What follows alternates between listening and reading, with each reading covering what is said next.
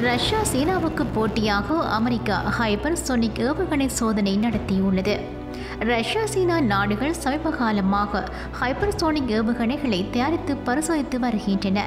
இதனால் அமெரிக்கா பாதுகாப்பு அமைச்சகம் மும்முரமாக ஹைப்பர்சோனிக் ஏவுகணைகளை தயாரித்து வருகிறது.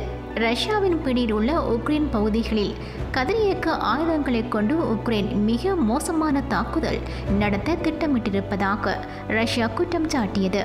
அதேபோல் அணு ஆயுத கழிவுகளிலிருந்து தயாரான வெடிபொருட்களை கொண்டு ரஷ்யா தாக்குதல் நடத்த திட்டமிட்டே இந்த குற்றச்சாட்டை முன்வைத்திருப்பதாக உக்ரைனும் பரஸ்பரம் குற்றம் சாட்டியது.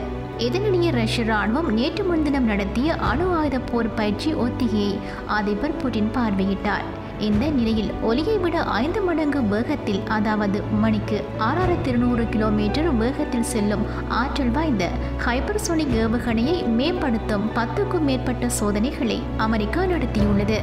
வெர்ஜினியாவில் உள்ள கடற்படை ஏவுதளத்திலிருந்து ஹைப்பர்சோனிக் ஏவுகணைகளை மேம்படுத்த தரவு மற்றும் தகவல்கள் தொடர்பான பதினோரு சோதனைகள் வெற்றிகரமாக மேற்கொள்ளப்பட்டதாக அமெரிக்க இராணுவ தலைமையகமான பென்டகன் தெரிவித்துள்ளது.